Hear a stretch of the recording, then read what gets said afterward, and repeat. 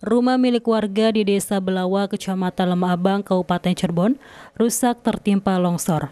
Tembok penahan tanah setinggi 4 meter tidak kuat menahan tanah yang kondisinya gembur akibat terus-menerus terguyur hujan.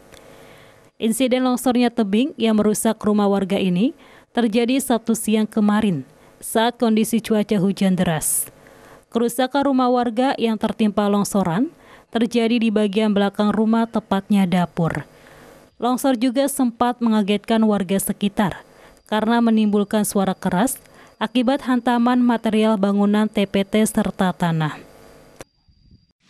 Uh, kemarin tuh hujan besar tuh mulai jam 2 sampai jam setengah lima ya. Berhenti uh, pas persis jam 5 terus ada suara teker teker teker teker teker akhirnya sekitar 10 menit langsung brug gitu. Langsung langsung ambrol ya longsor ya? Ambrol ya Terus Nimpa rumah ini pak?